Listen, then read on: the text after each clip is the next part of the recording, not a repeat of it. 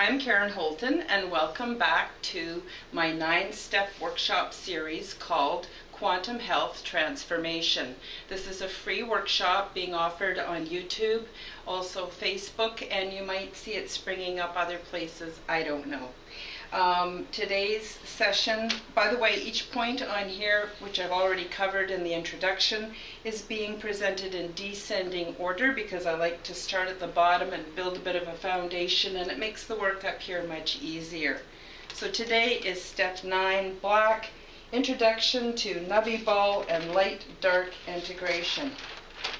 So I'm hoping you've seen the primer I will be putting out uh, a primer as well as a live video presentation for each step. The primer has the notes, the detail, more detailed information, um, things written down so that you can just pause it as you go along and make your own notes or um, rewatch whatever you want as, as many times as you want to get the gist of my information. And so this is the live video that accompanies the primer. So both are step 9 black, but this is the, the live presentation. Welcome. Okay, as I mentioned in my primer, things started out where I had a, what I would consider a misunderstanding uh, that was social with a friend of mine. I had been sick for some time and I had been, uh, was finally out going for little walks a little bit longer every day and I'd been fairly isolated. And one day when I was on one of, one of my little walks, I noticed a friend I hadn't seen for some time. And I waved hale and hearty at my dear friend, thinking we could get reacquainted and perhaps spend some time together. And lo and behold, if the friend just looked right through me as if they didn't know me and kept going, and I was heartbroken. And I went back home and I went, well, wonder what I did wrong. What did I do? And why did this person respond that way to me? So in my next meditation session, I asked my guides to please um, help me to understand what was going on. And this is what they suggested that I do. They suggested that I create a sphere in my mind.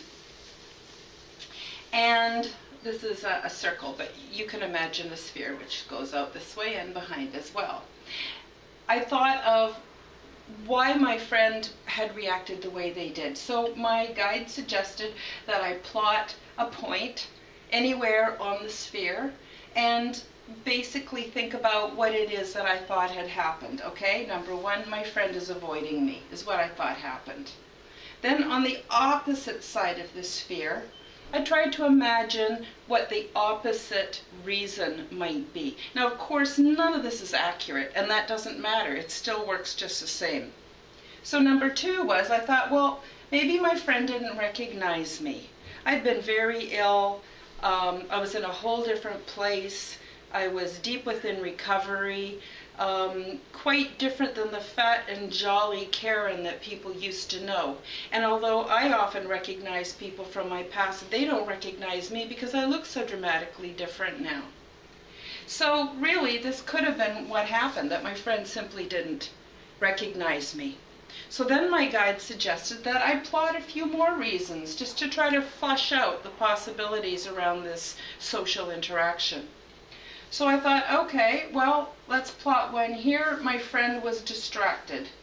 So perhaps my friend saw something bizarre happening behind me or something they couldn't figure out, and that took all their distraction away from me.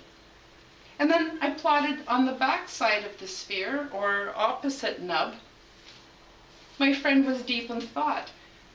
Many times I've been very deep in thought and I haven't recognized people or perhaps observed common social customs because of being so far away inside my own mind. And so this very well could have been another reason. So then, um, again, we plotted a couple of more, and that was my friend was um, dealing with a crisis I don't know about you, but when I'm in a crisis, similar to being distracted, my mind is, a, is not really all there. I'm busy feeling overwhelmed or so emotional or trying to figure out what I'm going to do about a crisis. So easily it could have been that. I mean, hopefully not, but it could have been. And then on the other side, my friend was concentrating on something else. I can remember when I was um, practicing to do, I was um, involved in some theater work, and I was having trouble remembering my lines at the time.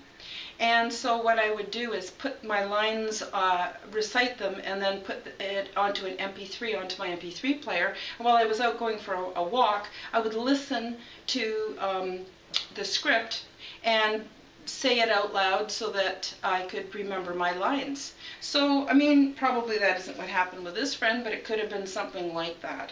So there was lots and lots of reasons why this friend didn't respond the way I expected. But pretty soon what happened is I realized that every situation is like a nubby ball with infinite nubs and infinite possibilities. And the truth, I couldn't figure, no one can really figure out exactly what's going on. We can't really imagine what a motive, a true motive, and all the factors that cause that motive and where that person is going in their stream of reality. So to look at things as a nubby ball takes a lot of the emotionalism away from the issue so that I can just see things as they are or maybe even as they aren't but the point is, I'm closer to truth if I look at a nubby ball than I am if I think my friend is just avoiding me because I said or I did something wrong. Nubby ball works for lots of things.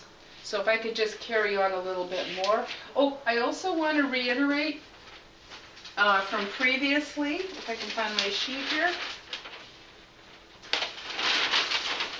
If you haven't already done so, done so pause it here type these uh, letters and symbols into your browser. Take a look at uh, my story and lead into the nine steps to show how I ended up coming up with all of this in the first place. And also, I would really recommend you watch these shows Zeitgeist Addendum, Thrive, Paradigm Shift, and anything from Spirit Science. It will show you how everything within my workshop actually harmonizes and links in to the greater issues and things that are going on in the world right now. Really worth watching, won't cost you anything. They're for free on, on YouTube. Definitely check, worth checking out. Okay, getting back to my friend's behavior. We're now going to take this uh, to another example level. I've always been fascinated with religions. So many religions, and everyone believes their religion is the only religion that's true, and that all the others are false. And it doesn't matter what religion you step into, you find this is true. And I would even classify science as a religion. And more on that later. That's outside of the scope of this talk. But I just want you to consider a few things. Um, and again, this is just an example on how you can use a nubby ball to see the bigger picture about things.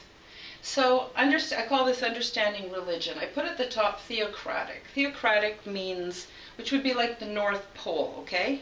And theocratic means God rule. So it means that everything that's real, everything that's not real, everything that's done or not done is completely controlled by what they believe in their religion God wants them to do. Down here I've got scientific. And scientific is a complete absence of God or spirituality, at least so they would like us to believe. And everything scientific has to be proven with the scientific method. And so one's the North Pole and one's the South Pole. So we often in our reality think of things as this or that, black or white, up or down. But no, things aren't really like that. They're nubby balls like this. And so what I've done is plotted a few possible uh, religious um, points on here so that you could get an idea of of what what really is um, I can't say truth because that's so subjective and it's such a loaded word, but closer to the bigger picture. Let's put it that way. So up here we've got total reliance and belief in God and that God controls everything. And down here we've got scientific. Both of these are belief systems that lots of uh, intelligent people believe in. So it's not um, really that far-fetched to look at the two poles. Most religions will fall somewhere else within the ball.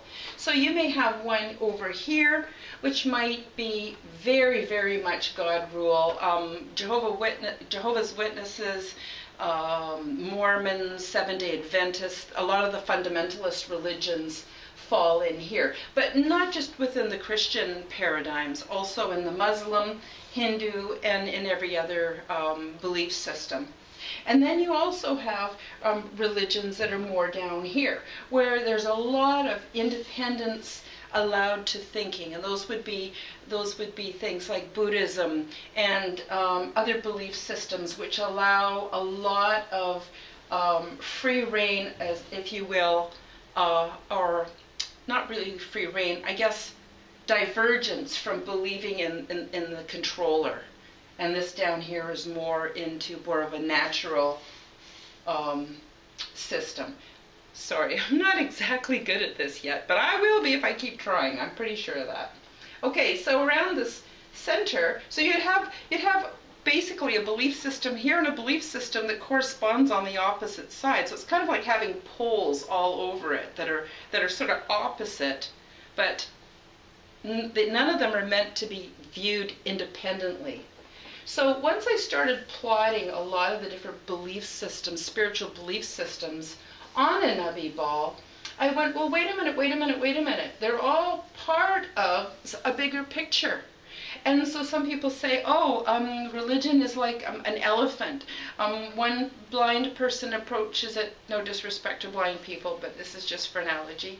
Uh, one blind person approaches the trunk and gets one idea of what it's about. Someone else grabs a hold of the tail and, and they get an idea of what it's about. And someone else may maybe a foot or, or an ear, and then that's what they think that it's about.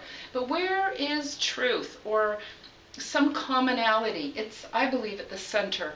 And I think all of these link into the center. And I've got here at the center is, is the common threads, or are the common threads. Like harm none and, and, and treat others well. Every belief system has a harm none component to it. The Christians uh, have the do unto others as you would have others do unto you. Um, the pagans have harm none. Um, a lot of scientific, uh, what I will call belief systems or religions, believe in harming none. It's really quite common. So I figured that if you take the common threads from the different religions and you unite them at the center point, which is where they all come together as one thing, you then have a little bit closer to truth. So only by educating yourself as to what a lot of these religions or belief systems are about and finding the common threads can you really see that they're part of one nubby ball. Yeah, that's what I think. So getting on a little further with this, I wanted to show you, over here I've got a light shining on a nubby ball. Because not only are all things connected and all things stem from the same source. But also, they tend to have in our world, because of the dichotomy that we've been brainwashed into believing good, bad, up, down, we tend to have a light side and a shadow side, okay? So, keeping that in mind, we'll take a look at the next page I have ready here. And this is light dark contrast. So let's take, for instance, and this is just an example. This is not meant to praise or condemn any belief system or any system of order on this planet. Not my intention, okay? So let's just take a look at law enforcement, positive light aspects. Law enforcement soothes the population. Individuals believe they are safer as a result of law enforcement. Many, many, many, many, many people believe this. After all, let's take a look at some of the facts. Number one, um, law enforcement fights crime and it provides civil and national defense. What's not to like about that? Number two, it ensures public safety by enforcing safety rules and regulations, keeping the peace, and maintaining order.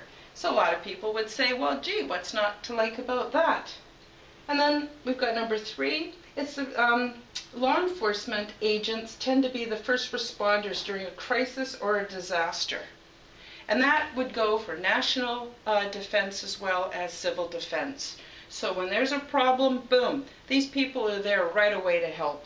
And number four, a lot of fundraising is done by law enforcement to help out with good causes. So now we're looking at the light side of a nubby ball. Many, many infinite possibilities and components and things to consider when considering the topic of law enforcement. And this is a good thing. But then let's take a look at the shadow side. Law enforcement as a negative or the dark aspects of such. It disturbs the population. Individuals recognize the oppressive results. Oppressive results, you say, what kind of oppressive results could there possibly be to law enforcement? Well, just a few things to consider. Number one, it's a bureaucratic system that expects guilt and is heavily influenced by propaganda. So this would be a little bit like the guy who gets hired for a job and his boss just takes one look at him and says, that guy's, he's fat and lazy. He's not going to work out for this job. And every time the boss comes into the room, the guy sitting down confirms the belief of the boss that his employee is fat and lazy. But the truth of the matter is, this guy works like crazy. He gets everything done he's supposed to get done and in good time, and he has a few extra minutes to take a break now and then so that he can uh, replenish himself and go on and continue to work hard for this boss. And he can't figure out why his boss can't see all the good work that he's doing. Okay? Same thing goes with this law enforcement expects things to be wrong, expects people to be committing crimes, expects people to be doing things they're not supposed to be doing. And so, from the eye or the perspective of the law enforcement officer, they're always looking for negativity. And when you look for something, you're always going to find it. And that's on the dark side of the Nubby Ball. So this leads to police brutality, um, lawful but erroneous uh, persecution. And a really good example of that is medical marijuana. It's bizarre. In this country, being Canada, uh, marijuana is both legal and illegal. If you have a doctor's prescription and your doctor believes it's good for your health, and if you do the appropriate paperwork, which is impossible to do because the policies are constantly shifting, you then have a legal right to use marijuana. But if you don't, you're a criminal, and if you get caught growing it or selling it or sharing it or even using it, depending on the officer, you could end up um, having to go to court. Fortunately, very few people in Canada go to jail anymore for small marijuana infractions. But in the United States, you could have one state where people are growing it in their yards and enjoying it freely, and in the next state, people are still going to jail for the same thing. So this is just a bit of an example. Next is manipulated by organized crime. Organized crime permeates pretty much everything. But if you were a law officer and you were asked to turn a blind eye and the safety of one of your family members might be in, might be um, might be secure or or they might be harmed depending on you turning a blind eye to something or not. What are you going to do? I don't know. I'm not saying any of this is right or wrong. This is all strictly from my imagination. But the point I'm trying to make here is that there is a dark side. Number two, embedded within an economic construct, it actually, uh, law enforcement actually encourages crime. You might go, wow, that's pretty off base there, Karen, but consider law enforcement feeds a glut of institutions and service providers. We've got courts, we've got lawyers, we've got prisons, we've got bureaucrats, We've got insurance companies, etc., etc., etc., that all depend on a law enforcement agency.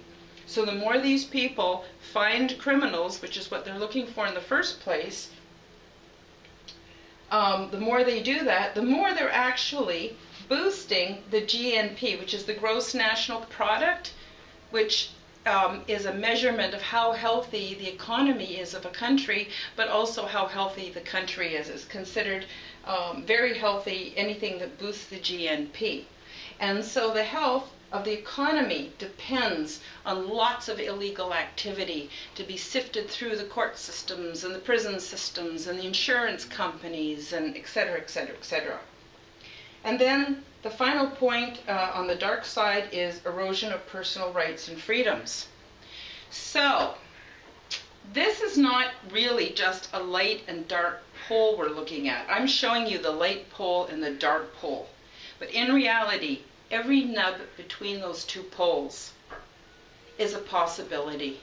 And this is to get you thinking in terms of the bigger picture, not just a polarized this or that situation and way of thinking.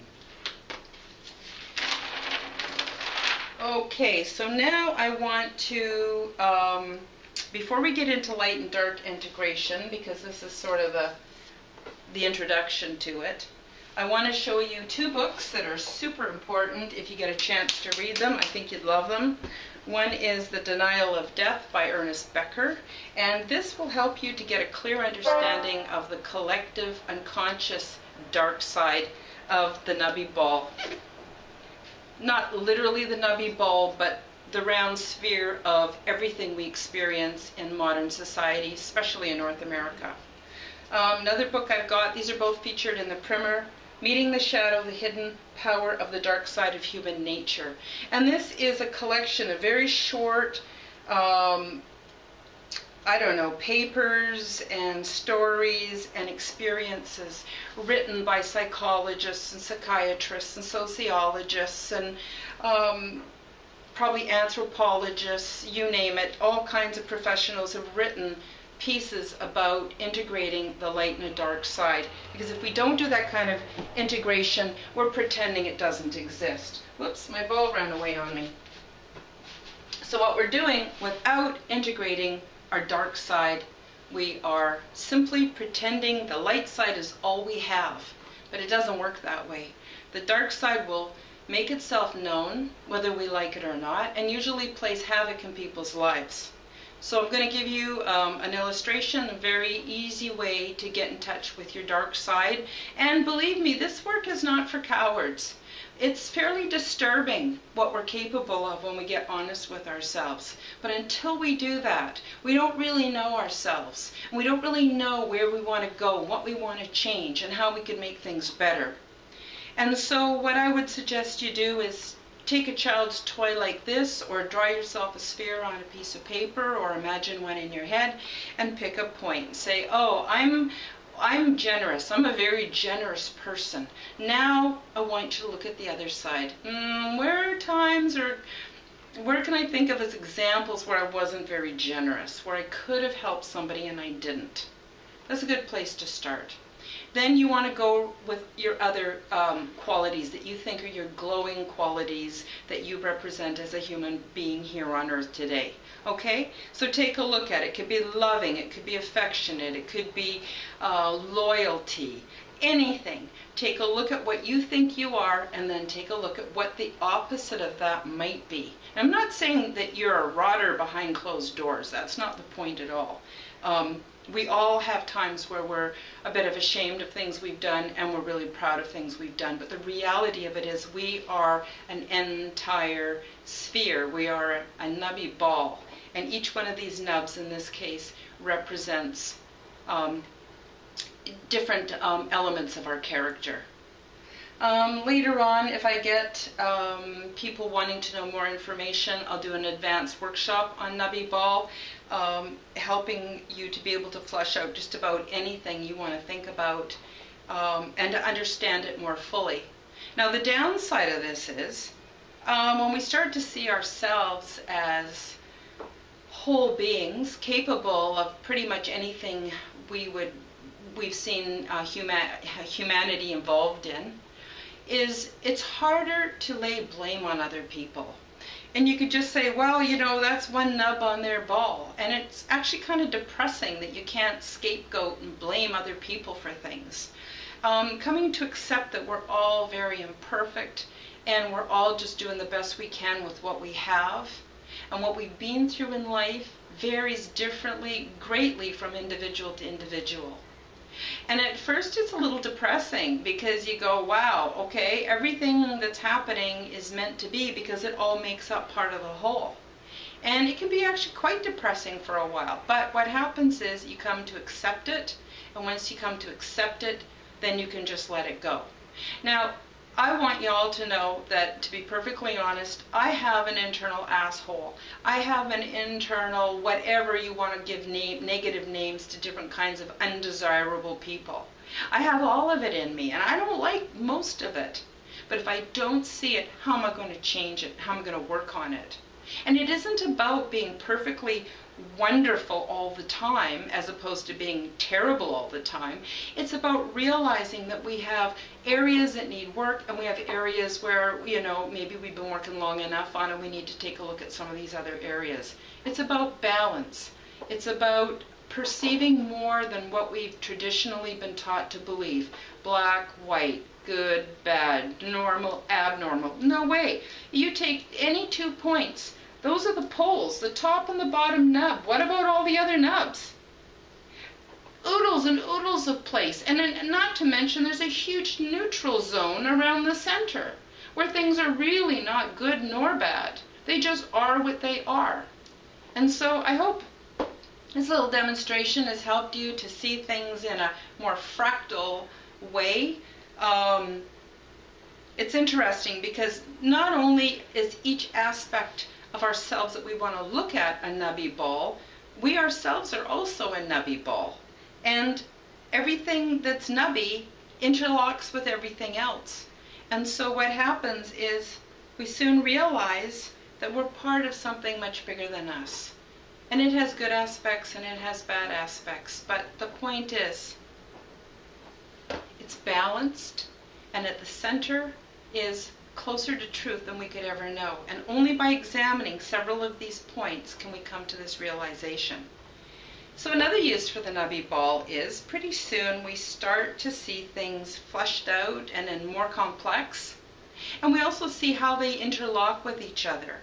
Every nub becomes a nubby ball in, on its own, and every nubby ball is within another nubby ball. And I'll tell you, the whole good news about all of this is at the center there's balance, and at the center is mm, not going to say neutral because that wouldn't be true either, but it, it's basically the source of all things. And so we start to think in more complex terms, and we start to um, express ourselves in more complex terms. And what happens is we start to evolve, we start to change, and pretty soon we don't need to scapegoat people anymore. We don't need to blame people anymore. And bigotry dissolves, and conflict dissolves. And we can have genuine respect and appreciation for everything we come in contact with. Not just the things we think are good and that we personally approve of. We get to accept everything. And when we do that, we start seeing things as they really are. And so instead of seeing a person as this or that or as in a, in a stereotype, we're seeing them as very complex. And it's so much easier just to say namaste. I honor you. I salute you for the work you're doing in your world. Please honor and respect the work I'm doing in mine. So I hope that's helped you a little bit. That's step nine of quantum health transformation. I, I know some of you are watching this because you want to see, oh, how did Karen lose all the weight and keep it off? And believe it or not, this is all part of it. Changing the way I thought was fundamental to changing the way I looked. So I also want to show you my contact information one more time for those of you that are interested. Um, my email, quantumhealthnow at gmail.com, or you can actually write to me. I have a post office box here. My name is Karen Holton. The um, address is 20016 RPO Downtown, Courtenay, BC, Victor 9 Norman, um, 0 A is in Apple 7. And if you want to send donations to help me with my work and then I can upscale my production a little bit more and maybe get it out to more people, please feel free to send a money order to me, Karen Holton. But if you don't, I hope you enjoy the series anyway, and thank you so much for watching.